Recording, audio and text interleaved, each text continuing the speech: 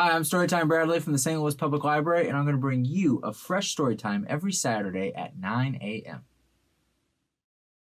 If you're ready for a story, clap your hands. If you're ready for a story, clap your hands.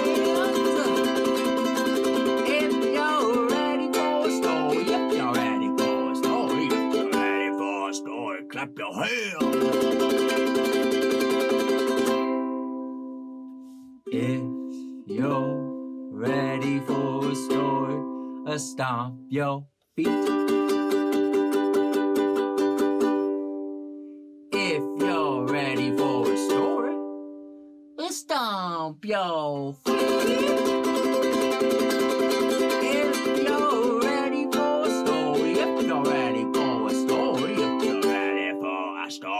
story, your feet.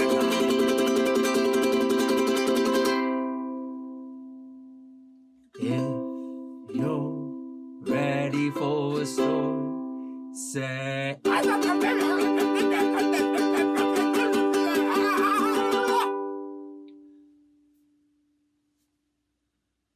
If you're ready for a story, I say.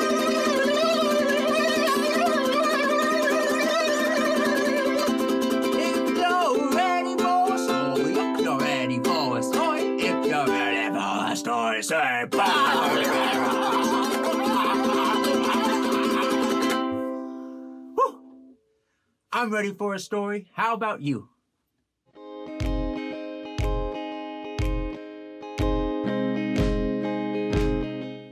You ever just sitting there, minding your own business, trying to watch a TV show or read a book? Your little brother's tickling you, or your dogs are licking your toes. Parents are saying, do this, do that. And you just want to shout, Leave me alone! Well, that's the book we're going to read today. And it's by Vera Brosgol, and we get to read it with permission from Roaring Brook Press. Once there was an old woman. She lived in a small village, in a small house, with a very big family.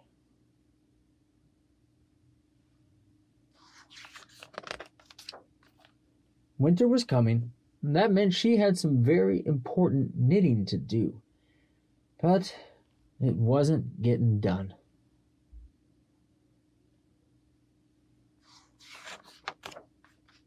Her grandchildren were very curious about her knitting. Were you supposed to hit the ball with a stick? Could you eat it? Could you make your brother eat it? Well, why did the ball get smaller and smaller as you chased it?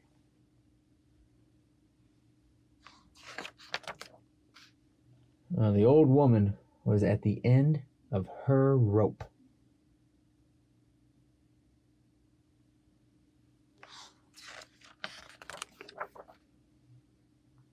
So she made her bed as neatly as she could. She swept the floorboards until they more or less shone. She drank tea from her samovar. She packed up her things in a big sack, and as she left, she shouted back, Leave me alone!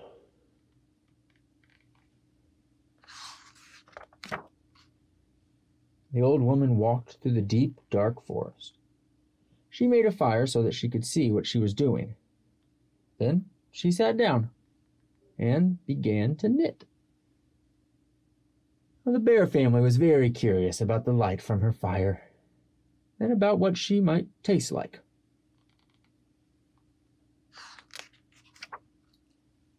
Leave me alone! The old woman shouted. But they didn't listen because bears don't speak English. So she picked up her sack and left.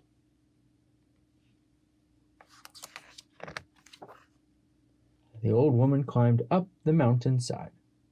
It was cold, so she found a small, sheltered place. Then she sat down and began to knit. The mountain goats were very excited to have a visitor, especially one that brought snacks.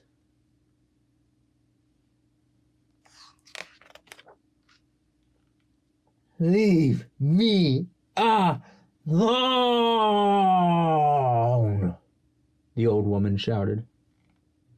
But the goats were too busy fighting over the red ones, which they all agreed were the best. So she picked up her sack and left.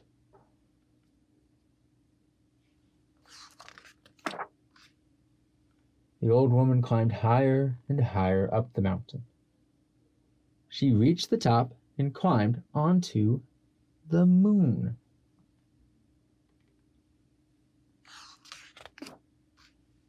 She found a rock that was shaped like a chair. She sat down and began to knit. The little green moonmen had never seen a woman before, old or otherwise. They examined her with handheld scanners that went beep bop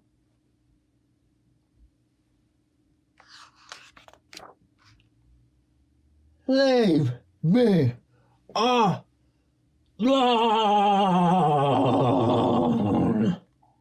The old woman shouted.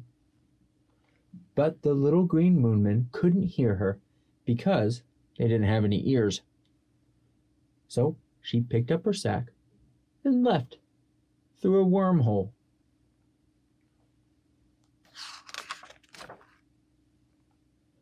The void on the other side of the wormhole was very dark and very, very quiet. She was absolutely, completely, utterly alone. It was perfect.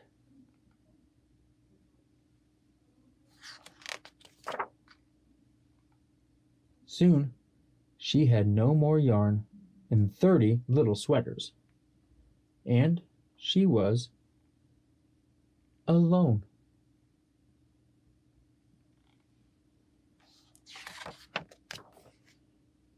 So she put the 30 sweaters into her big sack. She swept the void until it was a nice matte black. She had a cup of tea from her samovar.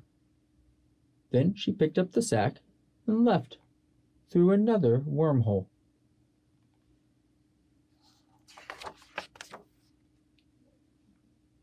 She came out the other side, everything was right where she'd left it.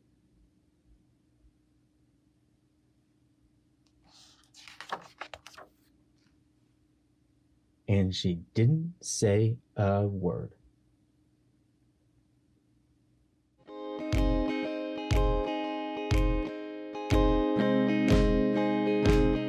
Hey, parents and caregivers, here's this week's lit tip. Not only is it important to rhyme words, but it's also important and a lot of fun to come up with alliterative phrases. So, words that have the same sounds at the beginning, like messy moose and crazy coconut. This will really help your kids understand that sounds are connected to letters and that the same letters are going to show up in different words. How many goofy alliterative phrases can you and your kids come up with?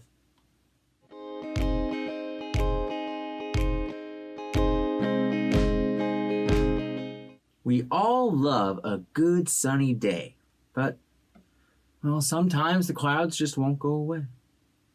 And whenever that happens, I like to sing my favorite song about the sun You Are My Sunshine. Now, I'm only going to sing it once, but I'll play it several times so you can sing along as many times as you like. You ready? Okay, here we go.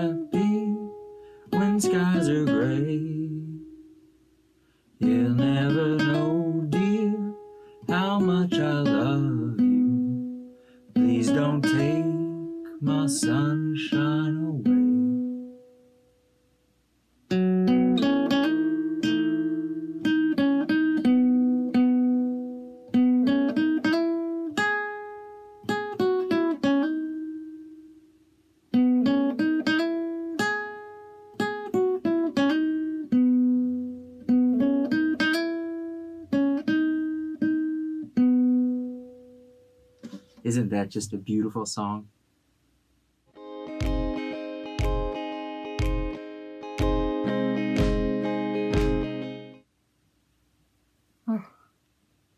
Hey, I'm holding on to this sentence, but I gotta tell you, it's getting really heavy.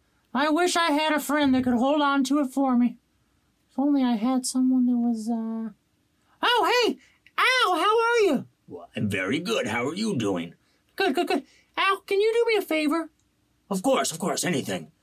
Look, I've got this sentence, but it's too heavy. Can you hold on to it for me? Sure, sure. Can't be that heavy. What's the sentence? Okay, you ready? Yes, yes, yes. The lazy lizard danced dandily to the magical music when the weary waiter silently spilled the mammoth meatballs on his trendy tuxedo. You got it? Do I have? Of course I've got it. Well, that's the easiest sentence I've ever heard. Perfect. I knew I could count on you. I'll be back later to get my sentence from you, okay? Sounds good. I'll hold it tight right here. Okay, bye. Do I have it? Of course I have it. That's the easiest sentence. The, uh. Well, now, how did it go again? The, uh. Lazy. No, it wasn't lazy. Hmm. I'd like to drop this sentence off with my friend Shark. Shark! Hey, what's going on? Shark, I've got a sentence and I need you to hold on to for me. Oh, sure, sure. What's the sentence? It's the, uh. Hmm. Oh, here it is. Are you ready? Of course I'm ready. What is it? The little lassie danced diligently to the mammoth meatballs when the wild walrus simply sang to monster music. Yep, that's the one. Oh, easy enough. You got it? Uh, of course I've got it. That's the easiest sentence I've ever heard. Perfect. I knew I could count on you. Okay, Shark. I'll be back later. Bye. Do I have it? Of course I've got it. That's the easiest sentence. Now, how did it go? Hmm. The little lassie. Did it start with little lassie? No, no. The, uh. Lily Lollipop. Yep, that's the one. Lily Lollipop. Hmm. Sure is boring here.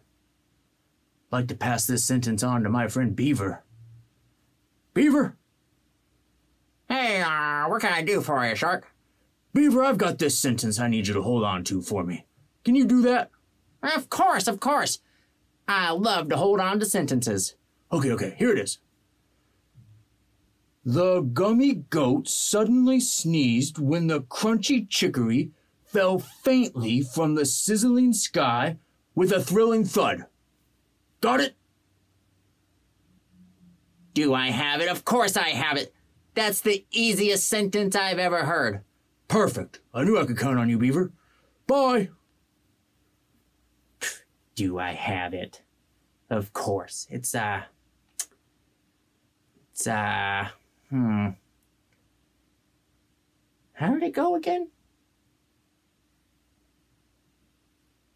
The lily. No, that wasn't it. The gummy goat. No, it wasn't gummy goat. Hmm. I just don't. Oh! It started with boogers. That's right. It started with boogers. Hmm. Hey, Beaver! Oh, hi, Cheryl. They told me that you had my sentence for me. Oh, this is your sentence? Yep, yep. Dropped it off with Al. Somehow it made its way to you. Anyway, can I have my sentence back? Of course, of course. I've, I've got it around here somewhere. Uh, well, oh, here, here, here it is. Are you ready? Of course I'm ready. It's my sentence. Okay, okay. It's, uh. The boogered bumble bug brightly burped. Uh-huh. To the tantalizing tune of a hankerin' Hank singing softly for his frightened friend, the dizzy duck. Is that your sentence? Yep, that's the one. Thanks, Beaver. Bye. Glad I could be of a